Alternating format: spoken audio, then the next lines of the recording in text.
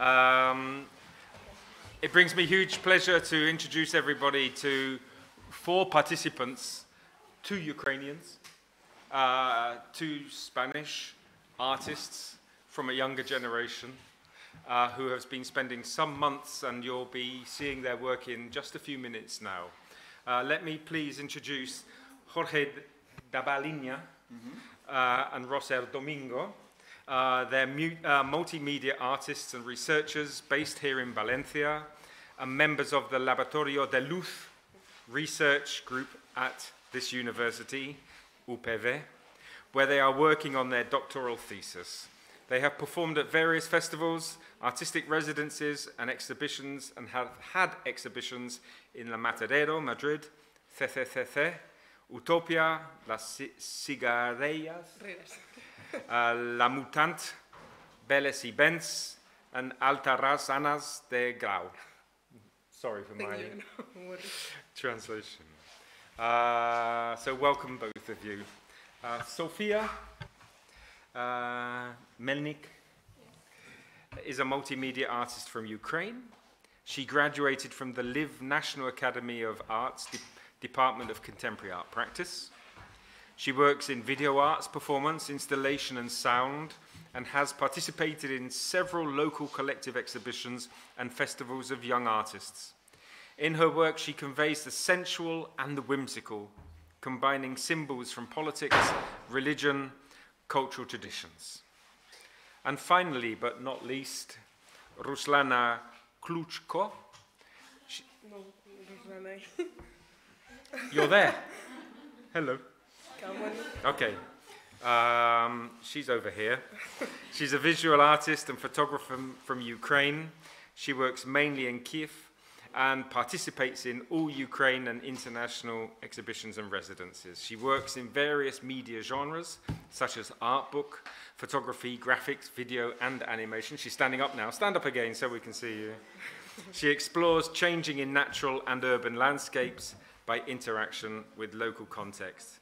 Her particular interest is dealing with trauma and methods of healing.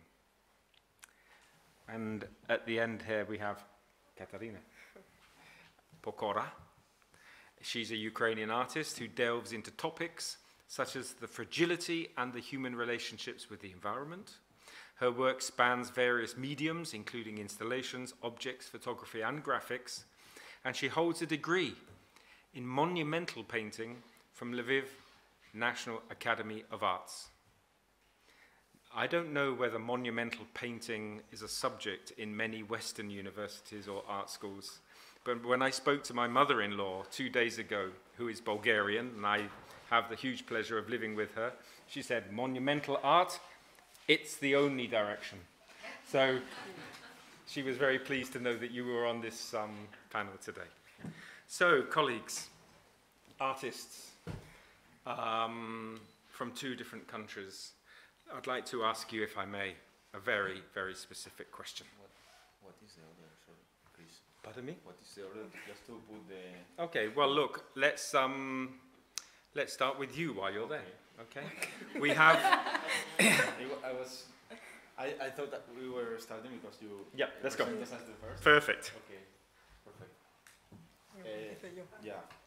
Good morning. First of all, thank you for inviting us to participate in this project.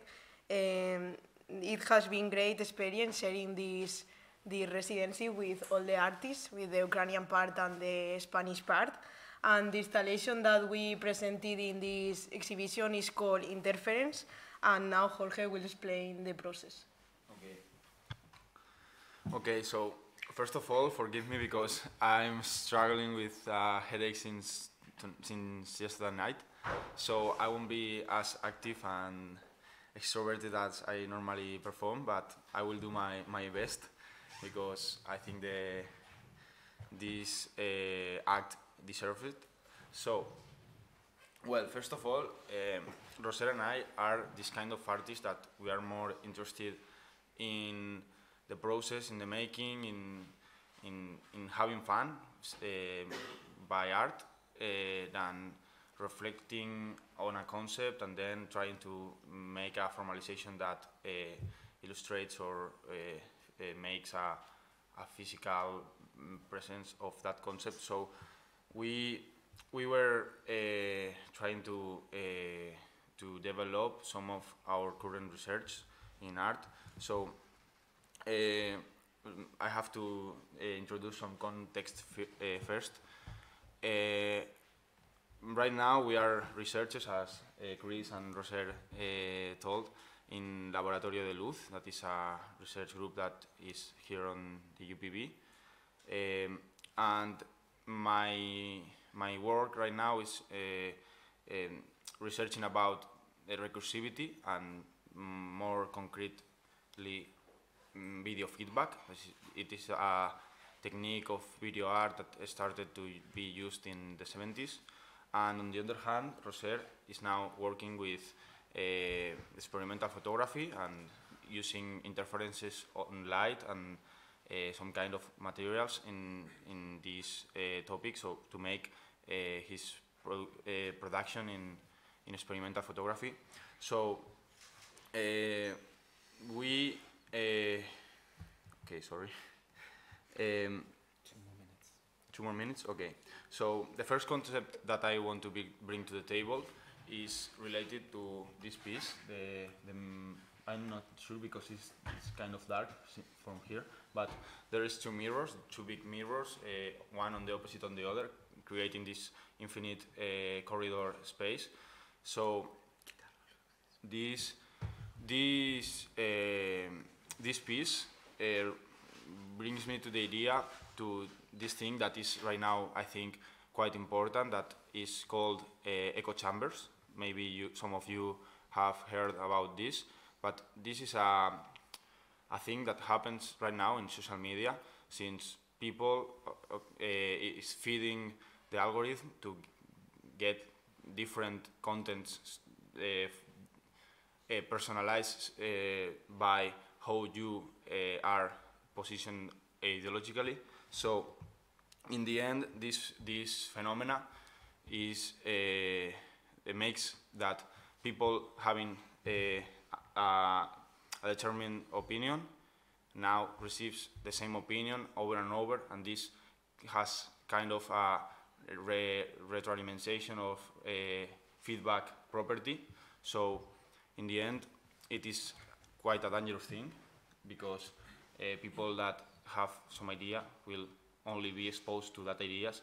So in this context, I think we are interested in how interference, how the different, or how the, the errors uh, stop this process of completely uncontrolled uh, uh, feedback. So mm, I think I can leave it there. Yeah, thank you. thank you very much, Jose. Okay. Um, dear artists, we're going to be seeing your work later so although you feel Okay, perhaps okay. that these five minutes are not enough, and they're not enough, um, it's not the last word. Yeah, okay, no- no so uh, please bear with us. Um, Rosanna, come here. Tell, come and sit here, please. Uh, Rosanna, tell us a little bit about your work, please, and your approach to your practice, and what's been happening in the uh, residency over the last couple of months. Uh, my name is Ruslana Klitschko and I'm visual artist and photographer from Ukraine. Uh, my art practice revolves around cycles and reflecting upon my personal experiences. Um, I drew strands from routine, from rhythm, and exploring time, memory, cycles, and influences that lie within it. I frequently delve into the subject of ecology and landscapes. Uh, for me, politicizing the landscape is crucial, and I think uh, I seek I seek to think uh, it's not just enough. and I like to think about it not just through anthropocenic lens, but uh, also about non-human agents. And um, I think that any landscape falls under human impact.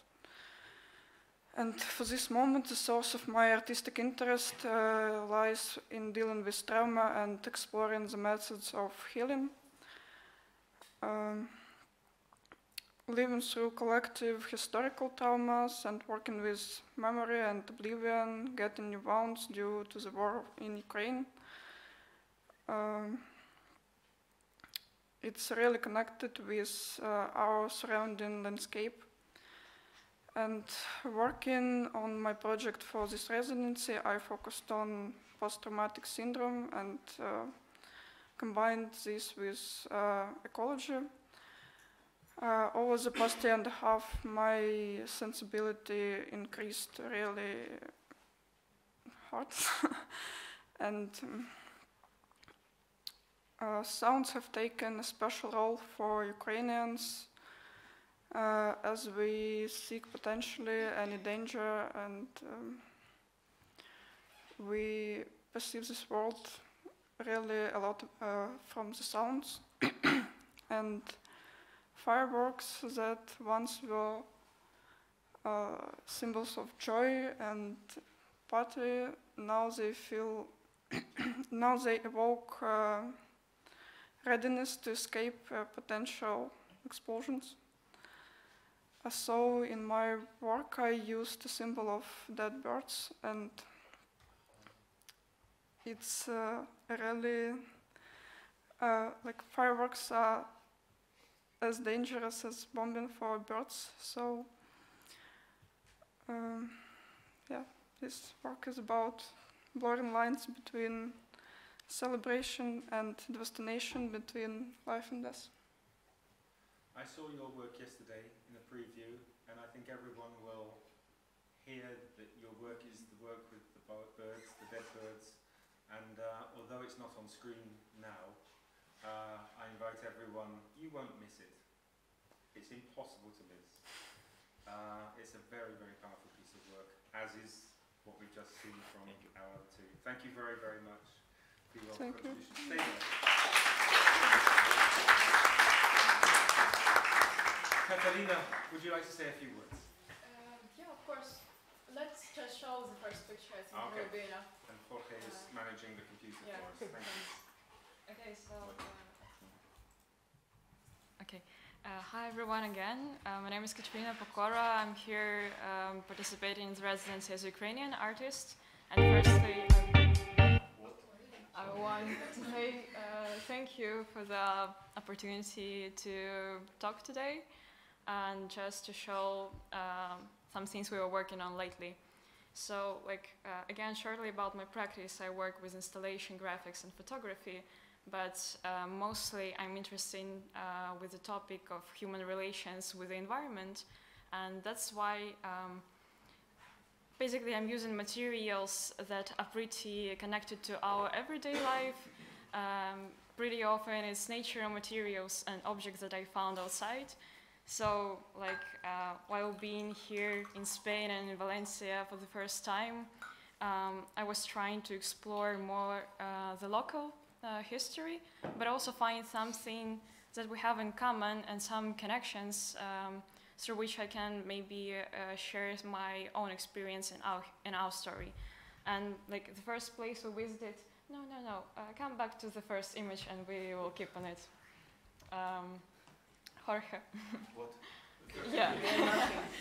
Uh, yeah, so uh, the first place we visited was Turia Garden, and um, like from my opinion, it's an incredibly beautiful place, and I was fascinated from it from the first sight, um, like from the tree structures, shadows, like everything.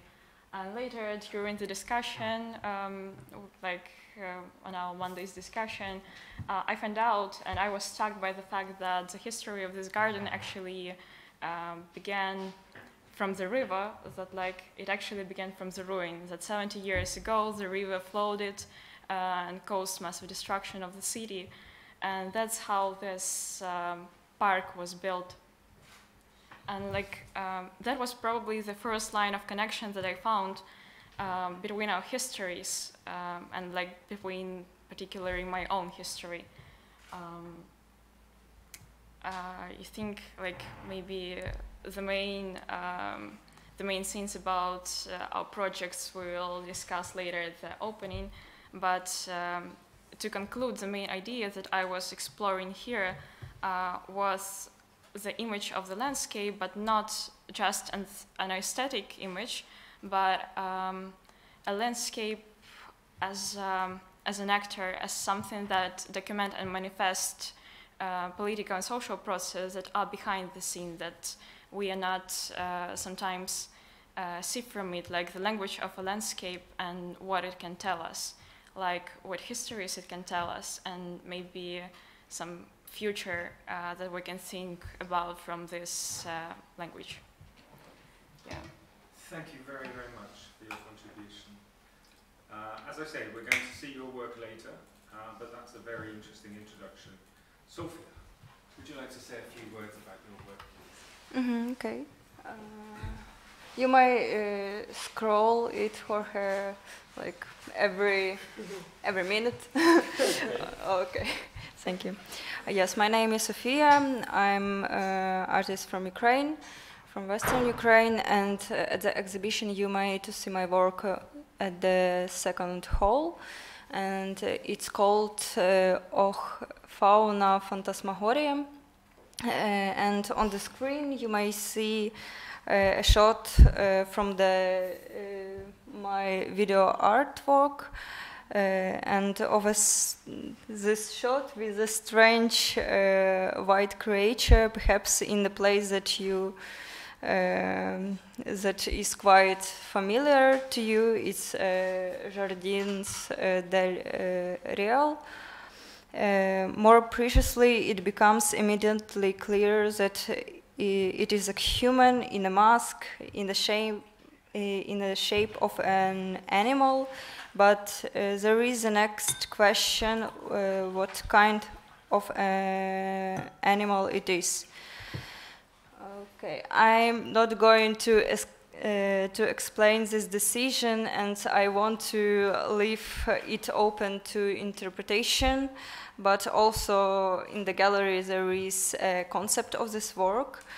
Uh, but now I want to talk about an important detail that may go unnoticed. Uh, that uh, why is it work here? Um, it is because lately the most dominant emotion I, I've been feeling is uh, the realization because uh, I know that we have a privilege, a privilege uh, uh, because we are now quite far from the world uh, of violence and we may choose not to read the terrible news and uh, discuss about the future uh, but uh, future isn't exist. Uh, but war brutal murders genocide ecocide violence are real. And i don't want to talk about trauma in my work uh, it's something that need to be cured because there is difference between a person who uh, who who is in the front line and between a civi- uh, civilian. And uh, there is a difference between a person who lives in the country of war and the person who lives in the peaceful country.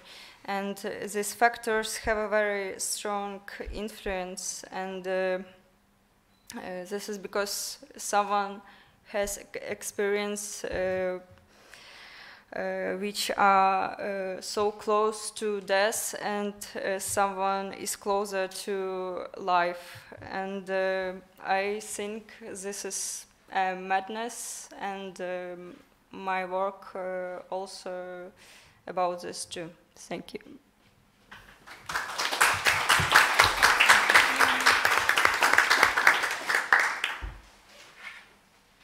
In the two minutes that we have left, three minutes, I have a question that I'd like to invite each of you to respond to in your own way.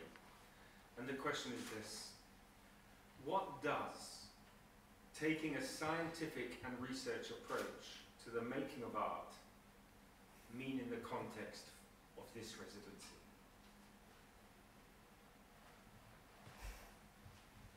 It's not so usual, believe me, for so many artists to be conscious of the scientific and research approach underpinning so much practice these days. So what does it mean to you?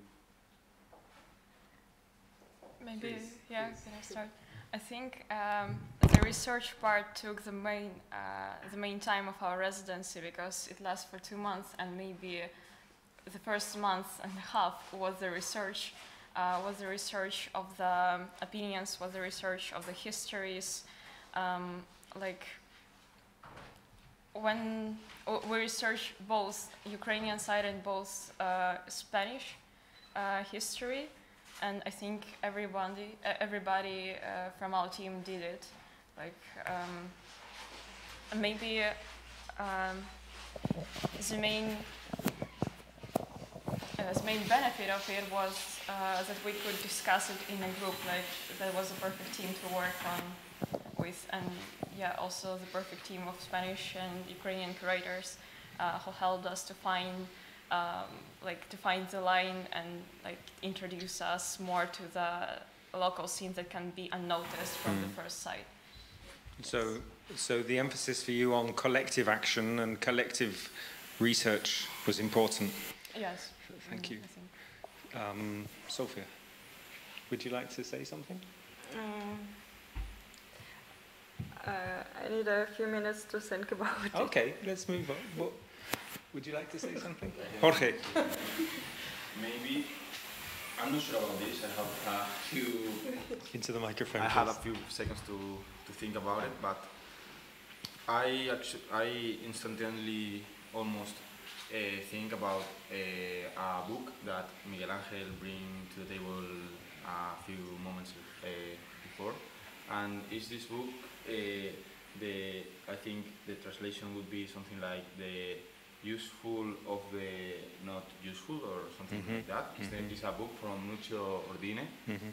And I think art has this role of uh, letting us doing things that won't be possible uh, in different uh, fields Mhm. because it won't make any sense to Mhm. do things that are made in art.